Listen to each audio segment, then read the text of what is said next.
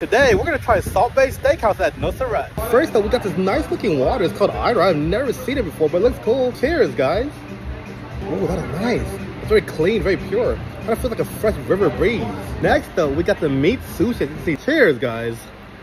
The thinly sliced beef is soft and tender, a little bit sweetness too. Rice itself with great seasoning, great flavor, holds together very well. You got the avocado cream sauce, gives each bite a nice nutty sensation, very creamy and wet. And you got a whole bunch of potato crisp on top, which I'm not really a fan, but it does taste good. Next though, we got the five ounce filet mignon. As you can see, oh man, that was beautiful. Cheers, guys.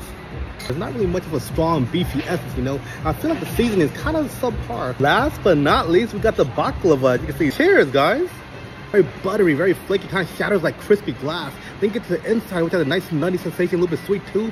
Very good, it's a good combination. This ain't bad. So with that being said, total price for two people is $95.37. Overall rating for Salt Bae Steakhouse, I'll give them a solid 7 out of 10.